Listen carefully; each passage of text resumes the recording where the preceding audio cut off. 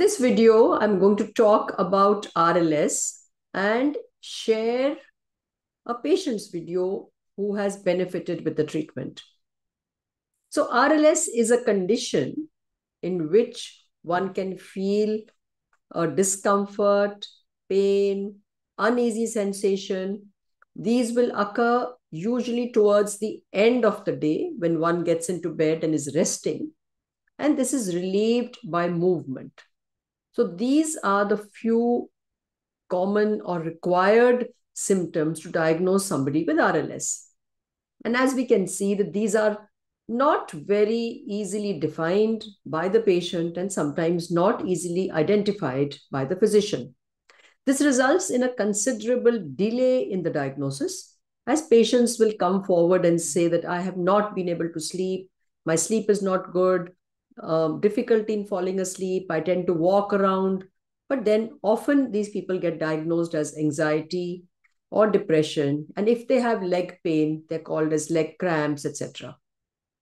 And the treatments given are anti anxiety, antidepressants, some sleeping pills, painkillers, which do not have an adequate benefit. And patients continue to suffer from these symptoms. These may progressively get worse, and they also get worse by certain triggers such as alcohol, some medications, extra caffeine, etc.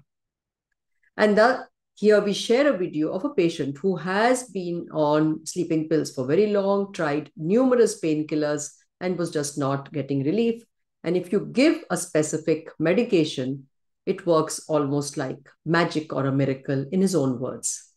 I do hope this will help all those with RLS who are suffering for long and not getting appropriate treatment. Hello viewers मैं M Hussain Delhi के पंजाबी बाग से बोल रहा हूँ। मुझे मेरे मेरे, मैं एक चीज़ बताना चाहता हूँ आप लोगों को मेरे पैरों में ना दर्द रहता था। ये दर्द जो है मेरे तीस साल से था, जब मेरी मैरिज हुई थी, उससे भी पहले से दर्द था। पर वो इतना नहीं रहता था, कभी ठीक हो जाता था, मैं मालिश करता था, मसाज करता था, कोई दबा देता था, पैर ठीक हो जाते थे। पर ये जब कोरोना आया फ़र्स्ट कोरोना के बाद मैं ज़्यादा सोचने लगा, घर में परेशान हो गया तो फिर मेरे पैरों में एकदम से दर्द बहुत ज़्यादा हो गया। मतलब इतना ज़्यादा दर्द हो गया, बढ़ता गया बढ़ता गया, कोरोना सेकेंड भी आ गया। मैंने बहुत सारी मेडिसिन ली। इतने सारे न्यूरो को ऑर्थोपेडिशियन को, सबको मैंने दिखाया बड़े बड़े डॉक्टर दिखाया ब्रिसेन हॉस्पिटल आपके बालाजी हॉस्पिटल वगैरह। मुझे कोई कहीं पर भी आराम नहीं मिला। मतलब इतना ज़्यादा ये पेन बढ़ता गया बढ़ता गया कि मेरी लाइफ चेंज मतलब हो गई, बिल्कुल मैं सो नहीं पाता था। सुबह मैं पूरा दिन हैंग रहता था ऑफ़िस में परेशान होने लगा। सुसाइड करने तक की नौबत आ गई। थी कि यार, मैं मर जाना चाहता हूँ ऐसे दर्द से कहीं हॉलीडे मनाने जा रहा हूँ एकांत में? कभी मैं पहाड़ों में जाता था, कभी मैं दुबई गया, कहीं, पर मुझे कहीं आराम नहीं मिला, कहीं रिलैक्स नहीं मिलता था। एक दिन मैंने अचानक ऐसी वीडियो देखी यूट्यूब पे, उसमें बहुत सारे लोगों के व्यूज़ थे। वहाँ मुझे डॉक्टर मनवीर भाटिया जी के बारे में पता लगा।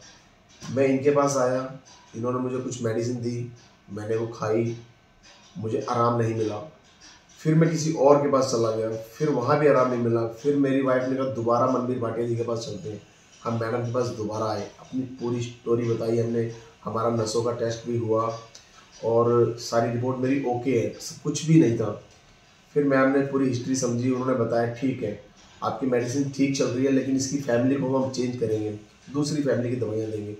और वो दवाइयाँ उन्होंने मुझे पंद्रह दिन के लिए दिया। मैं आपको एक चीज़ बताऊँगा ज़िंदगी का, मैंने अपनी लाइफ में इतना बड़ा मैजिक और इतना मेरेकल नहीं देखा। उस दवाई ने मेरी लाइफ को चेंज कर दिया। मतलब मैं इतना खुश हूँ। पंद्रह दिन की दवाइयों में मेरे पैरों का दर्द ऐसे गायब हो गया, जैसे कहते हैं ना कि छू मंत्र। वो एकदम बिल्कुल मैं रिलैक्स हो गया, मेरे को नींद आ रही है, मैं सो रहा हूँ, अच्छी से लाइफ को इंजॉय कर रहा हूँ। आज मैं मैम का स्पेशल थैंक करने आया था कि मैम मैम ने कहा दवाइयाँ थोड़ी दिन चलेगी, लेकिन अब मैं ठीक हूँ। दवाइयाँ चलती रही, कोई बात नहीं, पर मैं ठीक हूँ। मैं अपनी लाइफ को इन्जॉय कर रहा हूँ, अपनी फैमिली के साथ हूँ। अब मैं, मुझे खुशी हो रही है बहुत कि ये चीज़ें भी ठीक हो सकती है। अगर किसी को इस तरीके की प्रॉब्लम है आरएलएस की तो उसको लाइट ना ले, क्योंकि इससे आपकी नींद डिस्टर्ब हो जाएगी और आपकी लाइफ खराब होती चली जाएगी। इस तरीके की परेशानी है तो अगर आप भी कहीं निराश हो चुके हैं तो होने की ज़रूरत नहीं है। मेरे कहने से प्लीज़ एक बार आप doctor Manbir Bhatia neurologist sleep center पे आके ज़रूर दिखाएँ। और मैं उम्मीद, और मैं दावे के साथ कर रहा हूँ, ये चीज़ें भी ठीक